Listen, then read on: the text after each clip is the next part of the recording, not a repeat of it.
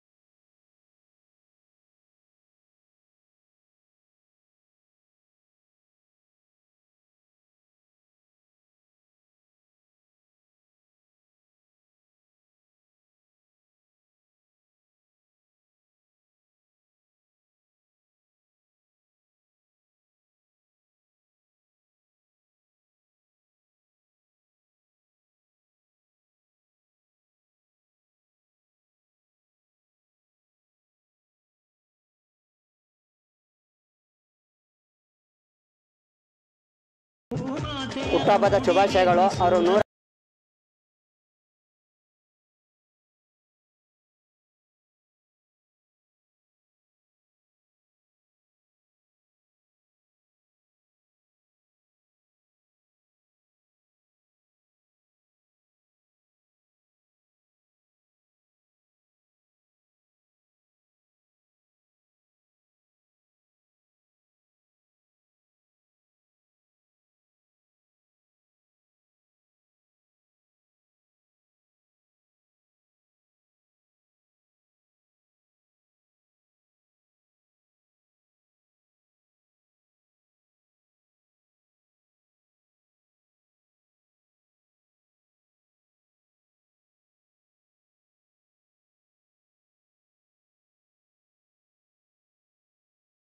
ಅದೇ ಅವ್ರಗಳಿಗೋಸ್ಕರ ನಾನು ನನಗೋಸ್ಕರ ಬರ್ತ್ಡೇ ಮಾಡೇ ಇಲ್ಲ ನಾನು.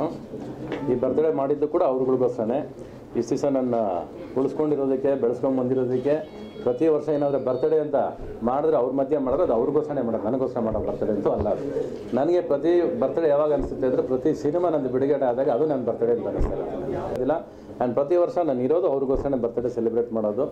ಖುಷಿಯಿಂದ ಸಿನಿಮಾ ಮಾಡೋದು ಅವ್ರುಗಳು ನಗು ಯಾವಾಗಲೂ ಹಿಂಗೆ ಇರಲಿ ಅನ್ನೋದು ಒಂದೇ ಖುಷಿ ನನಗೆ. ಇವತ್ತು ಎಲ್ಲದಕ್ಕಿಂತ ಮುಖ್ಯವಾದ ಅದೊಂದು ಬರ್ತಡೇ ಅನ್ನೋದಲ್ಲದೆ ನಮ್ಮ ಕೆ ಮಂಜು ಅವರು, ಮಗ ಶ್ರೇಯಸ್ ಅವರ ಮಾಡ್ತಿರೋ ಹೀರೋ ಸಿನಿಮಾ ಬರ್ಡೇ ಹುಲಿಗೆ ಟೀಸರ್ ರಿಲೀಸ್ ಮಾಡಿದ್ದೀನಿ. ಆ ಹುಡುಗನಿಗೂ ಒಳ್ಳೆಯದಾಗಲಿ ಪ್ರತಿ ಸಾರಿ ಏನಾದರೂ ಒಂದು ತುಂಬ ಇಂಪಾರ್ಟೆಂಟ್ ಕೆ ಮಂಜು ನನಗೆ ಹೆಂಗೆ ಒಂದು ಥರದಲ್ಲಿ ಹತ್ರ ಆಗ್ತಾರೆ ಅಂದರೆ ಎಲ್ಲೋ ಒಂದು ಕಡೆ ಫೈನಾನ್ಷಿಯಲಾಗಿ ಏನೋ ಒಂದು ತೊಂದರೆ ಬೇಕು, ನನಗೆ ದುಡ್ಡು ಬೇಕು ಅಂದಾಗ, ಹೇಗೋ ಒಂದು ರೀತಿ ಬರ್ತಾರೆ ಅವರು.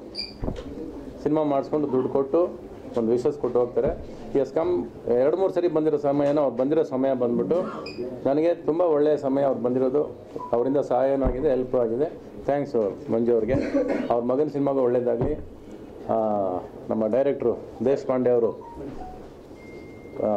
ಕೆ ಮಂಜು ಅವರು ಮಗನ ಪೇಚನ್ನು ಮಾಡ್ತಿದ್ದಾರೆ ಒಳ್ಳೇದಾಗಲಿ ಎಲ್ಲರಿಗೂ ಒಳ್ಳೇದಾಗಲಿ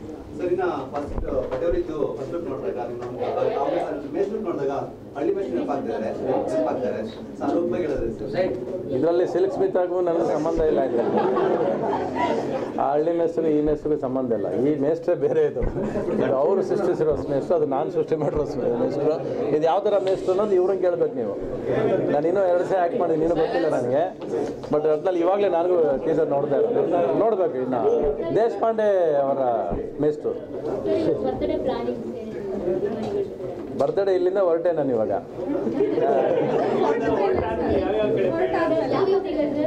ನಾನು ಈ ಸರಿ? ಇಲ್ಲ ಇಲ್ಲ. ತಿರುಪತಿ ಆಗೋಯ್ತು ಜರ್ನಿ ಆಗೋಯ್ತು. ಇಲ್ಲಿಂದ ಗೋವಾಗ ಹೊರಟಿದ್ದೀವಿ ಫ್ಯಾಮಿಲಿ ಎಲ್ಲ ಗೋವಾಗ ಹೊರಟಿದ್ದೀವಿ. ಸರ್ ಮೋಸ್ಟ್ ಮೆಮೊರೇಬಲ್ ಬರ್ಡೇ ಅಂತ ಯಾವ್ದು ಸರ್ ಏನ್ ನೆನಪಾಗುತ್ತೆ ಸರ್? ನಿಮ್ಮ ಬರ್ಡೇ ಬಂದ ತಕ್ಷಣ ಏನ್ ನೆನಪಾಗುತ್ತೆ? ಏನ್ ಕಾಡುತ್ತೆ ರವಿಚಂದ್ರನ್ ಅವ್ರಿಗೆ ನನ್ನ ಪ್ರತಿ ಸರಿ ಕಾಡೋದು ನಮ್ಮ ಅಪ್ಪ ಇಲ್ಲ ಅನ್ನೋದಷ್ಟೇ ಕಾಡೋದು ನನಗೆ. ನಮ್ಮ ಅಪ್ಪ ಇರಬೇಕು ಬರ್ತಡೇ ಪ್ರತಿ ಬರ್ತಡೇಗೂ ಅಂತ ಅನ್ಸೋದು ಯಾಕಂದ್ರೆ ಅವರು ಪ್ರತಿ ಬರ್ತಡೇಗೂ ನನ್ನ ಕೊಡೋ ಒಂದು ಅಪ್ಪಿಗೆ ಇದೆಯಲ್ಲ ಅದನ್ನ ನೀವೆಲ್ಲ ಸೇರಿ ಕೊಡೋದಾಗ್ಲಾದ್ರೆ ಅದು ನಮ್ಮ ಅಪ್ಪ ಮತ್ತೆ ಮತ್ತೆ ನೆನಪಾಗ್ತಾ ಇರ್ತಾರೆ. ಅದು ಬಿಟ್ಟರೆ ಬೇರೆ ಏನೂ ನೆನಪಾಗೋದಿಲ್ಲ. ಬಟ್ ನಾನು ಹೇಳ್ದಲ್ಲ ನನ್ನ ಹುಟ್ಟಹಬ್ಬಕ್ಕಿಂತ ಒಂದೊಂದು ಸಿನಿಮಾ ಬಿಡುಗಡೆ ಆದಾಗ ನಾನು ಜನಕ್ಕೆ ಸಂತೋಷ ಕೊಡಬೇಕಂತ ಆಸೆ ಪಡ್ತೀನಿ ಅದು ನನ್ನ ನಿಜವಾದ ಉತ್ತರ ಅದು ಸರ್ ಮತ್ತೊಂದು ಖುಷಿ ಸಂದರ್ಭ ಅಂದ್ರೆ ರಾಜೇಂದ್ರ ಪಲ್ಲಪ್ಪ ಸಿನಿಮಾ ಕೂಡ ಬರ್ತಾ ಇರೋದು. ಆಫ್ಟರ್ ಏನು ಅಪೂರ್ವ ಆದ ನಂತರ ನೀವು ಡೈರೆಕ್ಷನ್ ಮಾಡ್ತಿರೋದು ಎಲ್ಲ ಮಾಡ್ತಿರೋದು. ಅದೊಂದು ಉತ್ತಮ ಸಿಕ್ಕಾಪಟ್ಟೆ ಇದೆ ಅಭಿಮಾನಿಗಳು ಇದೆ ಮತ್ತೊಮ್ಮೆ ರಿಜಿಸ್ಟರ್ ಹೋಗ್ತದೆ ಅಲ್ಲಾಡ್ಬೋದು ಸಿನಿಮಾ ನೋಡ್ಬೋದು ಅಂತ ಇದು ನಾನು ಇಂಡಸ್ಟ್ರಿಗೆ ಬಂದಿದ್ದು ಪ್ರಯತ್ನ ಮಾಡಿ. ಒಂದು ಪ್ರೇಮ್ಲೋಕ ಅನ್ನೋದು ಒಂದು ಪ್ರಯತ್ನ ಮಾಡಿ ಒಂದು ಡೈರೆಕ್ಟ್ರಾಗಿ ಬಂದಿದ್ದು. ಸೊ ನನ್ನ ಆ ಪರದೆ ಕೊಟ್ಟಿರೋ ಬೆಲೆಗೆ ಪ್ರತಿ ಸಲ ಅದಕ್ಕೆ ಏನಾದರೂ ಒಂದು ಹೊಸ ಪ್ರಯತ್ನ ಮಾಡಬೇಕು ಅಂತ ಆಸೆ ಪಡ್ತಿರ್ತೇನೆ. ಒಂದು ಅಪೂರ್ವ ಮಾಡಬೇಕಾದ್ರೂ ಕೂಡ ಅದೊಂದು ಪ್ರಯತ್ನ ಅದು. ಅದು ಓಡುತ್ತೆ, ಓಡಲ್ಲ ಅನ್ನೋ ಪ್ರಶ್ನೆ ಆಮೇಲೆ. ಫಸ್ಟ್ ಮನಸ್ಸಿಗೆ ತೃಪ್ತಿ ಆಗಬೇಕು. ಒಂದು ಕನಸು ಕಾಣದ ಮೇಲೆ ಅದನ್ನು ಪರದೆ ಮೇಲೆ ತರೋದು ತುಂಬ ಮುಖ್ಯ ನನಗೆ.